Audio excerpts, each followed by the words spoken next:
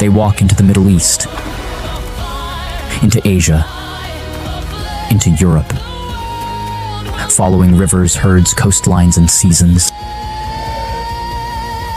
For the first time, one species maps the world with footsteps. They face cold deserts, predators, storms, volcanic winters, and survive all of them. Because now the world does not shape humans alone. Humans begin shaping the world. Tools, fire, endurance, cooperation, planning, adaptation. The blueprint of humanity is written here in stone flakes, smoke, and footsteps stretching across continents. But evolution is far from finished.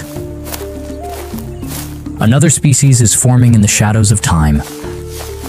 One with imagination, language, identity, ritual, art, storytelling. One that will reshape reality not with muscle but with ideas. Homo sapiens.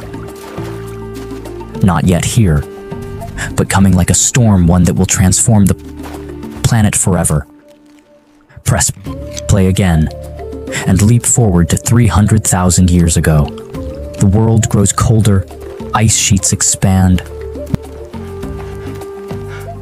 Rivers carve deeper scars across the land. Animals evolve armor, thicker fur, heavier horns, sharper teeth. And in the middle of this harsh world, a new figure rises.